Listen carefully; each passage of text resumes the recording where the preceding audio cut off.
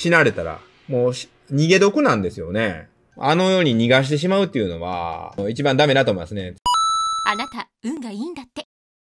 ケンケン先生、いつも配信ありがとうございます。養子のえー、高木じゃないですね。高井ですね、多分。はい。高井凛が死にました。えー、重大な犯罪を犯した犯人は死刑になるのを恐れて自殺するのですか三浦和義とかもそうですが、えー、なぜ刑務所でもっと見張っていないのでしょう。えー、死刑の手間を省きたいのかと思ってしまいます。うん、多分ね、これ、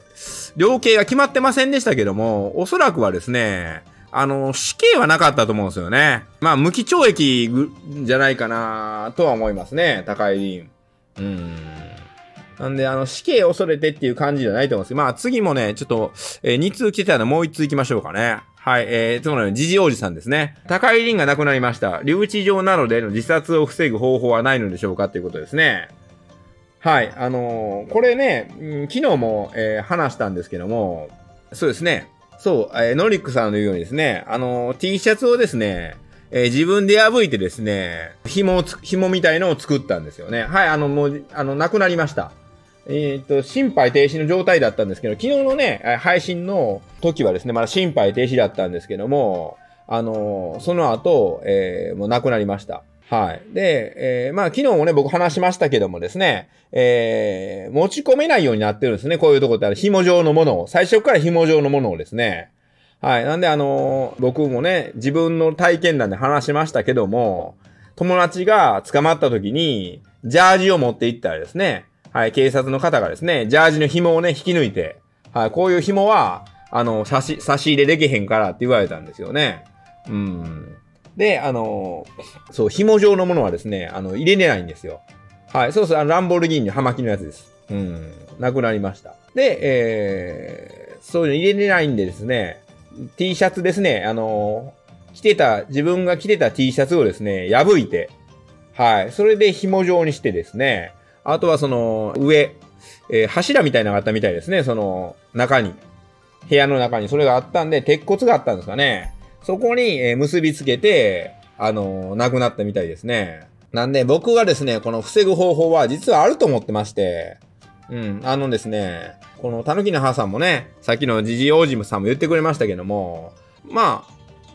今回はおそらくは高井林は、まあ僕の見立てでは、えー、まあ、死刑はないんじゃないかなと。うん、日本なんでね、まあ無期懲役、弁護士頑張って無期懲役ぐらい、えー、だと思うんですけども、あの、もうあんな生活してた状態ですよ。まあ、ランボルギーニに乗ってですね、美人の女の子に、えー、ルブタンとかね、なんか、プレゼントして、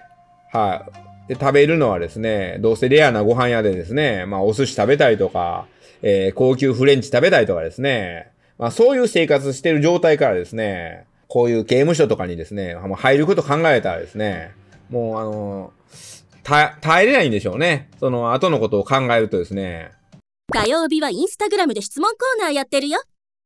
ずっとまあ、高い委員って確か28ぐらいでしたから、うん。まあ今ってね、人、男性でもまあ、80歳ぐらいまで行きますかね。そしたらあの、50年ぐらいですよ。ずっとその刑務所から、その出れないわけですから、まあそういうのを考えるとですね、あのもう、死んだ方がいいかと、えー、思うんでしょうね。なんで、まあ、あのー、この三浦和義もそうです。三浦和義はちょっとわかんないですよ。三浦和義いろんな線があるんで、なんか殺されたとかですね、あそういう、えー、都市伝説もあるんで、しかもまあ、三浦和義の場合は、えっ、ー、と、アメリカでしたよね。アメリカの刑務所でしたから、刑務所、拘置所か留置所かわかんないですけども、まあ、アメリカのそういう、えー、施設でしたから、うん、ちょっとわかんないんですけども、まあ、隅田美代子もその後亡くなりましたからね。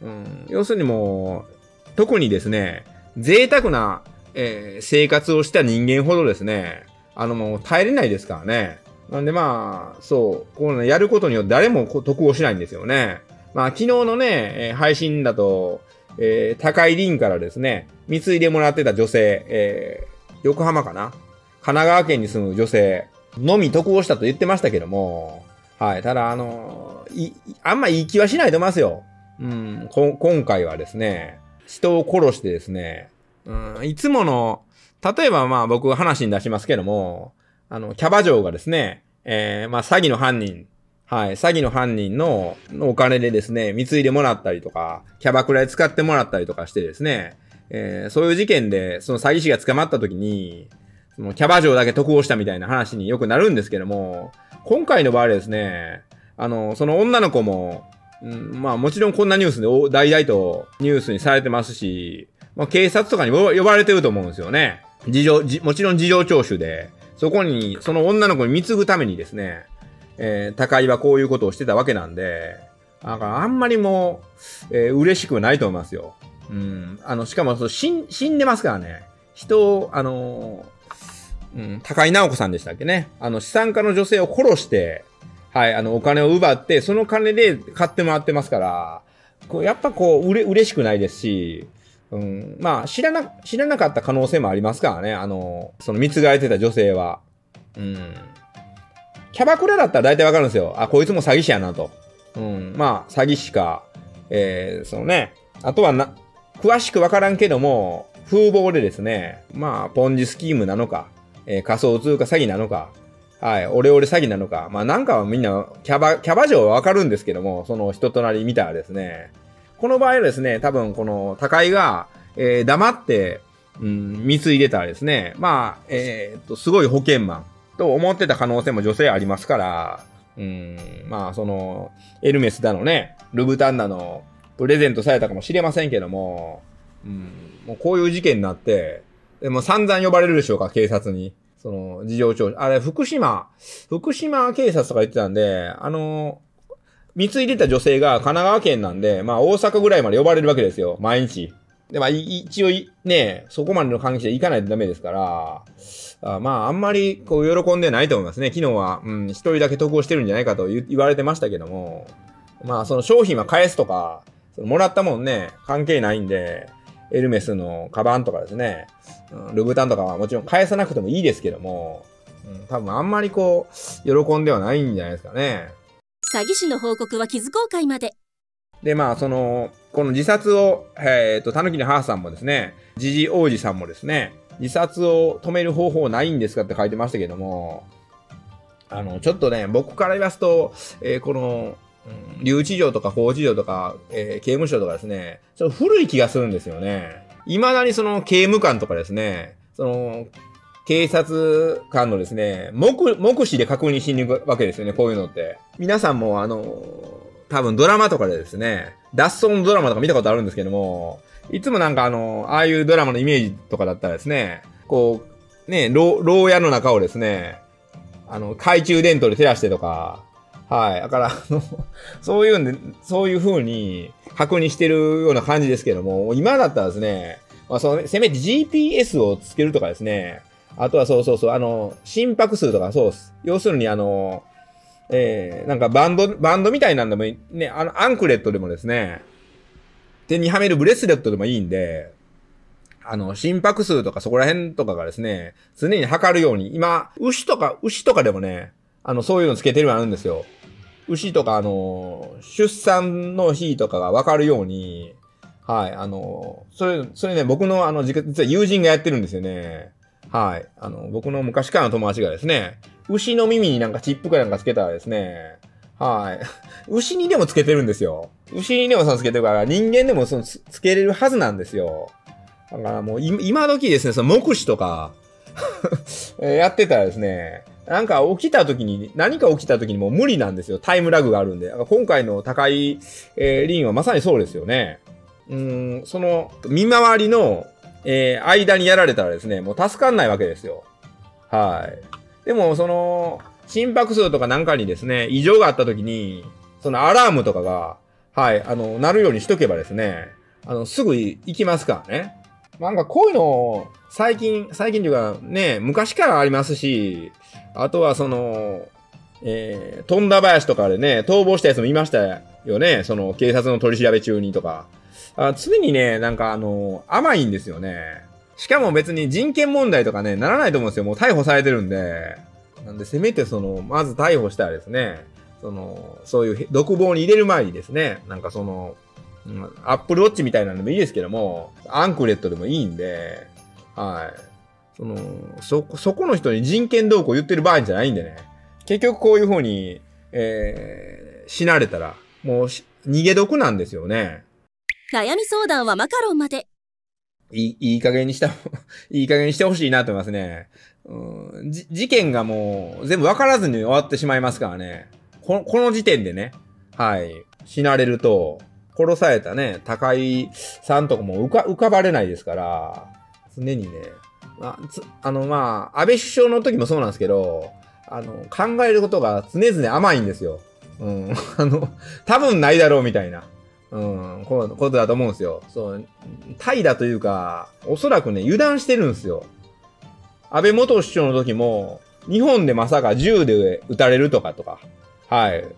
で、この高井林の時も、まさかそのね、見回りの間に、えー、紐とかもないんでね、うん、自殺とかできるかと思ってるんですけども、この、この時点、この事件でそう、起訴で、あのー、もう犯人が亡くなってるんで起訴できないんですよね。うん。これはね、常に油断してるんだなぁと思いますね。ゆるゆる、ゆるゆるですね。ずっと見張っとくのもですね、あの、人件費がありますし、まあ、無理ですからね。誰がこう、自殺するかとかわからないんで、各独房の前にね、一人ずつ、えー、刑務官とか、警察とかついてる無理ですから、うん。だからもうそろそろ、えー、IT がいつまでこう、この2022年、令和4年ですけど、いつまでその目視で確認してんねんと僕は思いますけどね。結局、まあ、危機感がないですし、そう、自死、自死されるとですね、もうすべてここで終わってしまうんですよね。何も解明できないまま終わってしまうんで、うん、ちょっとあの、こん、こんだけ報道されててみんなまあ気になってるじゃないですか。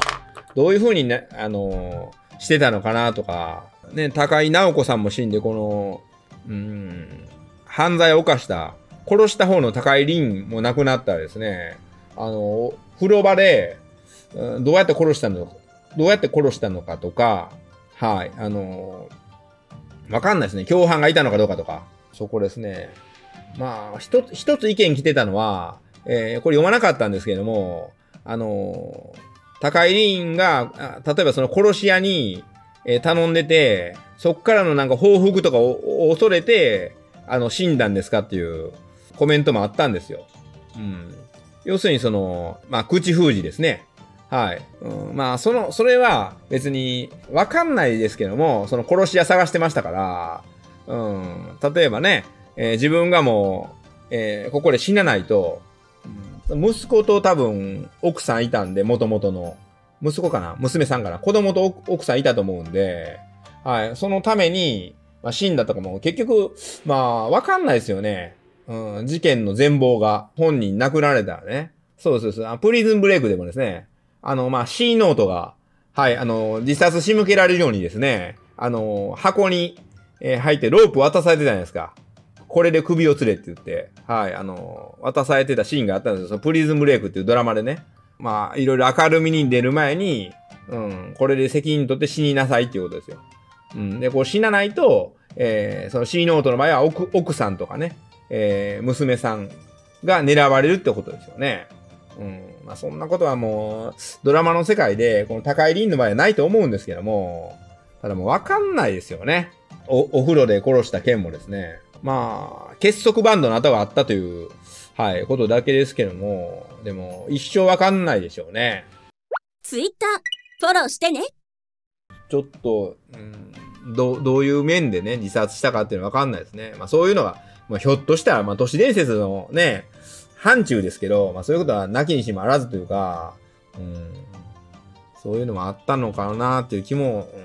うん、わかん、で結局わかんないんですよ、それもね、予測で。まあ、ただ、あの、その殺し屋を探してたっていうね、あの、元同僚からの証言はあるんで、そう、いた、いた子がね、いた子とか、うん、まあ、そうですね、アミさんのように、これこそ、えー、明日、明後日、しあさってぐらいにね、えー、あの、霊能者 YouTuber とかが、はい、あの、そう、あげるんじゃないですか？霊能系 YouTuber、はい、霊視系 YouTuber がまさにこの、えー、件であげるんじゃないですか？うん、そういうふうに言うんじゃないですか？うん。もう、あの、死、なないとダメやったとか、うん。言う、言う、言うかもしれませんね。そう。実は脅されてたとかね。まあ、金の流れはある程度見たらわかると思うんですけど、その面であの、貢いでたね、女性とか、どのぐらいお金を使われたとか、はい、あの、そこら辺を、聞いていけばですね、残ってる金と計算してわかりますよね。例えば1億取ってて、何に使ったとか、まあ警察そこら辺は見るはずなんですよね。うん。もし1億使ってていきなり5000万とかどっかに振り込んでたらですね、例えばほん本当にこの殺し屋とか、なんかに協力してもらった可能性もありますけども、うん、どこまでその、うん、この高い輪が何人お金を使ったとか、その辺を調べていくしかないでしょうね。残、残された道はね。うん、でも全部ね、調べるの無理っすからね。うん。なんかこう、バカっぽい使い方してたんで、その飲み屋さんとかで使われてたらですね、うん、ちょっと頼れないですよね。領収書とかも、あの、もらわないんでね。あその、殺し屋を使ったかどうかっていうのは、うちょっとわかんないですよね。まあ、事件はこれでほぼ終わりっすよ。本人、本人に亡くなられたらですね、これ以上は、ほぼ終えないと思いますね。まあ、あの僕はいよいよその AI とかね、はい、あの、そういうのを導入してですね、えー、こういうのを防ぐようにしてほしいなと思いますね。本当にこう、えー、なんかね、もう裁判中に病気で死んだりとか、まあ、そういうのは仕方ないですけども、こういう、もう言うたら逃がしてしまうね。うん。あのように逃がしてしまうっていうのは、あの、一番ダメだと思いますね。罪をね、ちゃんと償わして、どういうね、量刑出るかを、うん、見てから、じゃないとね、逃げ毒になってしまいますからね。本日のテーマのような話から悩み相談、疑問、質問、意見など何でもマカロンからお気軽にメッセージを送信してください。生配信はミルダムと占い師ケンケン TV 見逃し配信チャンネルというサブチャンネルをメインでやってます。傷公開は詐欺師や霊感商法をしてる悪人の情報を随時募集してます。Twitter はチャンネル最新情報、Instagram では火曜日に質問コーナーをストーリーでやってます。動画の高評価、チャンネル登録、各 SNS のフォローをよろしくお願いします。占い師ケンケン TV を見てトラストリテラシーを高め一緒に運気を上げていきましょう。パワーストーンはただの石。ご視聴ありがとうございました。